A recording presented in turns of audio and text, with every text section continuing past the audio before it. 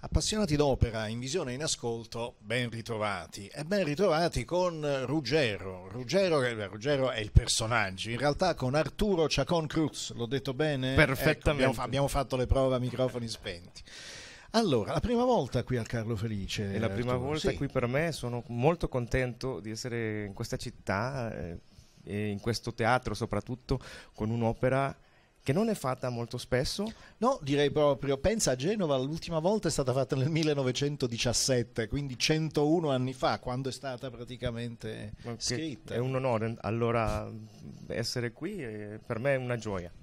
Eh, conoscevi già l'opera? Conoscevi già la rondine? L'avevi già cantata? Sì, ho, questa è infatti la quinta produzione che Per ne Bacco, faccio. eh. È un ruolo che l'ho scoperto molto giovane nella mia vita. E tu sei molto giovane, Oh, grazie.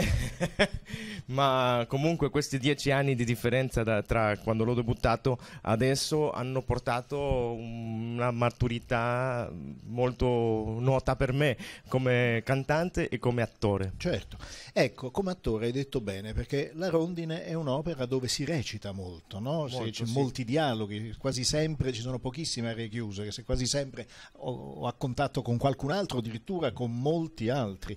Come ti sei trovato con Giorgio Gaglione, che è un regista che viene dalla prosa, no? Quindi conta molto recitare. Molto, molto. eh, eh, Giorgio è un genio. Eh, lui... Io non, non glielo diciamo, se non glielo diciamo, la forse se la crede. no, niente. Ciao Giorgio. Capo. Eh, guardi, eh, guarda perché Guarda, parliamo sì. dal tu. Io sono un po' meno giovane, ma eh, da più vecchio autorizzo a dare tutti del tuo ormai. Grazie. Giusto Zeffirelli, no? a tutti gli altri. Eh, io penso che Puccini ha, ha visto il futuro della lirica con, con cose così, con, con questa forma di scrivere, col, col- mettere la regia Certo. e il canto insieme. È, molto importante perché eh, un pubblico che adesso guarda i film di Hollywood eh, va all'opera, il pubblico nuovo sto parlando, e a volte può darsi che se non si fa qualcosa di generoso con, con le Certo. emozioni, col- col- con la regia, si perde questo pubblico. Sì, penso- oppure con il rischio di vederla, ma come se fosse una cosa vecchia. Esatto. invece questa è una cosa coinvolgente. In fondo Esatto. è molto moderna Rondine come temi, no? Come c'è, tema- c'è l'amore, c'è l'amore che finisce senza bisogno di una malattia o di qualcuno che muore, finisce come finisce nei giorni normali, finisce Come perché sono finiti i soldi, finisce perché, perché c'è sfortuna. è perché siamo umani. Eh, beh, in una parola, giustamente, finisce perché siamo... È vero, perché sono le cose che succedono nella vita di tutti i giorni e non per questo sono meno tragiche, perché Esatto. il finale veramente...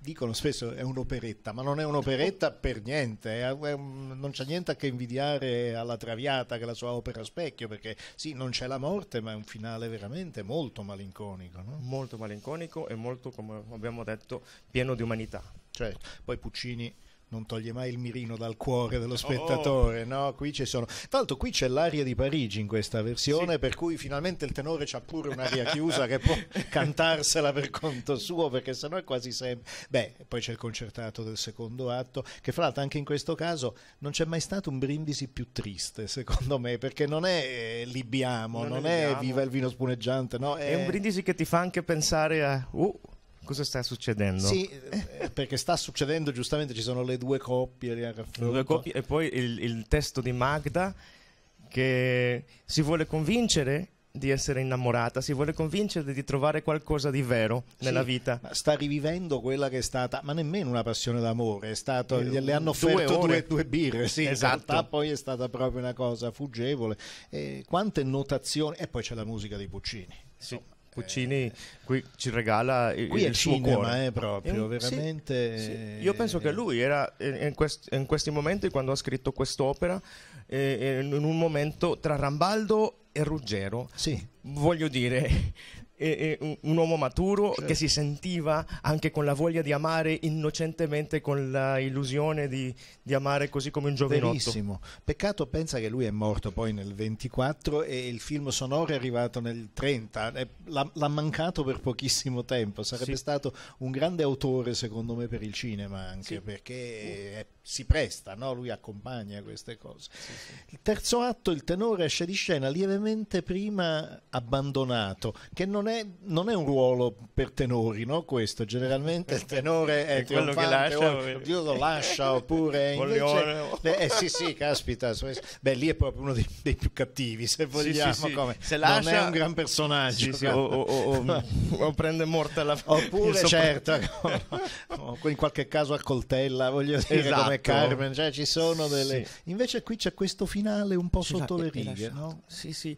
E questo che voglio dire che è molto umano, che adesso ai miei 40 anni eh, sono molto diverso, infatti non, non Sempre 10, giovane, sempre 12 giovane. anni fa che l'ho fatto per la prima volta, che a 28 anni non sapevo esattamente cosa voleva dire essere lasciato, sì, ero triste, sì, cantavo con tutto il cuore, ma adesso vi, vi- vi posso esprimere Certo, c'è più esperienza, giustamente. Esatto. Uno conosce, vede le cose un pochino da un'altra prospettiva, anche, ripeto, sono solo 40 anni, però eh, le cose... Beh, Puccini era, era già un po' più vecchio di una decina d'anni qua.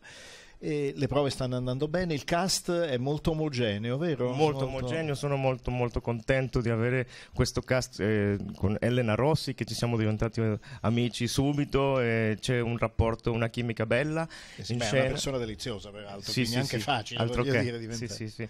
Eh, poi Stefano Antonucci che siamo amici da tanti tanti anni e Che infatti lui è un Rambaldo specialista, eh, Il- quasi. il Lui mio è primo Rambaldo in di rifer- Italia. di riferimento. Sì, sì, che abbiamo fatto eh, la rondine a, a Venezia tanti anni fa insieme. Eh.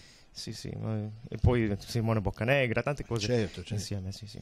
Era quella con la Cedolins, la Sì. rondine. Sì, sì. Molto bella, era Molto una bella bella edizione. sì. Senti, grazie mille intanto È di aver piacere, trovato la grazie pazienza per essere venuta qui da noi, ma non ti lasceremo andare via senza avere la firma sulla locandina. Eh, ti reggo questo.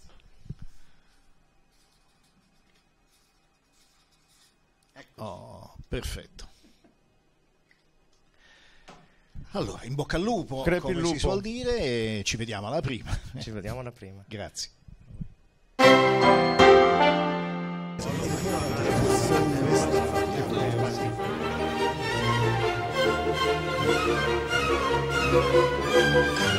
Thank